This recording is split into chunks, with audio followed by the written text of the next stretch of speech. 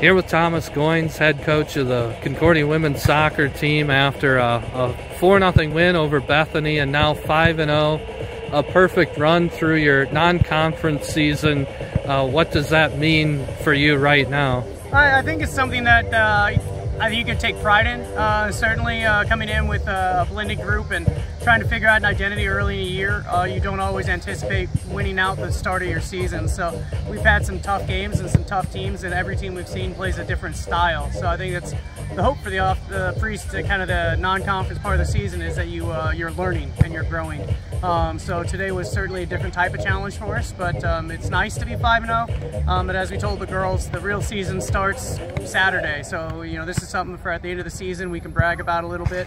Um, but, you know, it's only something we have to look in the rearview mirror of now.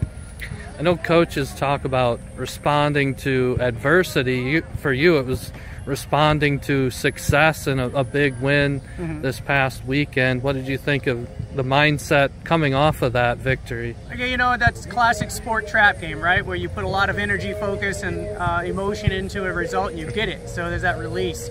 Um, so it was certainly a challenge for the girls to rebound and get that at that same excitement, that same focus, that same energy. Um, and you can see that. I think in our first half we were a little slower than we wanted to be, um, a little kind of lethargic in some of the things we were looking for.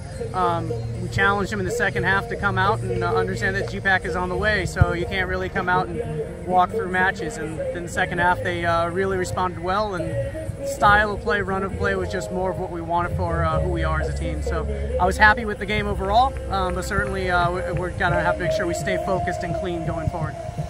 You talked about start of conference play this weekend. Um, I'm sure this team's feeling pretty confident right now. How do you approach the next few days as you start begin to look at the start of conference play? I think you know we're excited for it. I, I feel like we uh, we have talent enough to make a, a decent run uh, in the conference this year.